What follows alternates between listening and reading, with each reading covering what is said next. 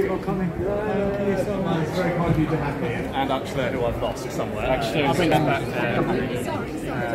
Thank you. Yes, you're very right. He's, uh, he's resides here and gives us enormous guidance. Well, it's a special time. And writes lots of books. Well, I was, I was going to say, I, you know, actually, actually, has been doing a lot of detail for me over the last few weeks. It's been giving me enormous strength through some We just launched an initiative yesterday called Think Gita, and the idea is to show how the ancient wisdom really addresses what people are going through in their daily lives. Well, I can attest to that, certainly. So, no, just enormous strength through those. Yeah, Thank you.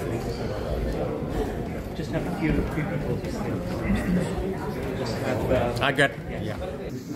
Yes.